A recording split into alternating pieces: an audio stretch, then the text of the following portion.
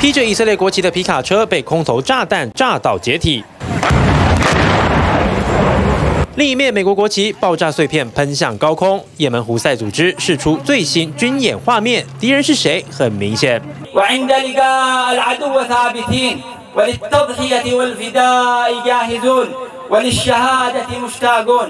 从以巴开战后，胡塞组织就不断攻击通过红海的货船。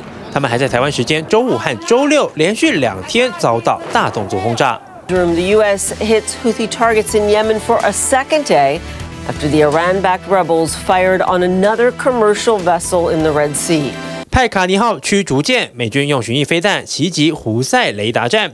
这次不像前一天一样和英国联手，而是美国单独出击。Uh, but a lot of people absolutely are afraid of having oil uh, crisis, and they are scared of uh, expanding the airstrikes. 美军连两天出动，让也门人担心日子不好过。只是当地对战争早就不陌生。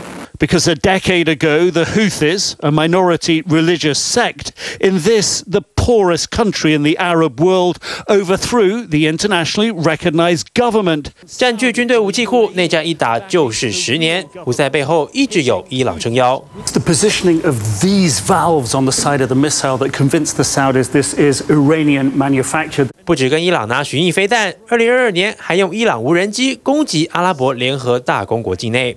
זאת מלחמה נגד ציר הרשע בהובלת איראן ושלושת שלוחיה, שלושת הח"תים אני קורא להם, החיזבאללה, חמאס, החות'ים. 美国和以色列对抗伊朗领军的极端组织，也让中东紧张持续升温。TVBS 新闻综合报道。想看最完整的新闻内容，记得下载 TVBS 新闻网 APP。